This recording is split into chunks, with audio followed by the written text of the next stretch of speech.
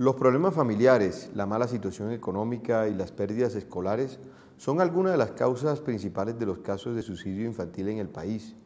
De manera especial, urgen acciones para prevenirlo en las regiones con las mayores cifras. Es el caso de Antioquia, donde se registraron 34 casos entre enero y octubre de 2021, seguido por el Valle del Cauca con 25 casos, Bogotá 18, Santander 17 y Cauca 14.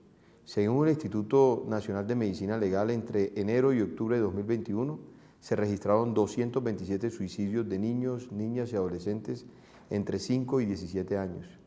Para el mismo lapso de 2020 habían sido reportados 222 casos.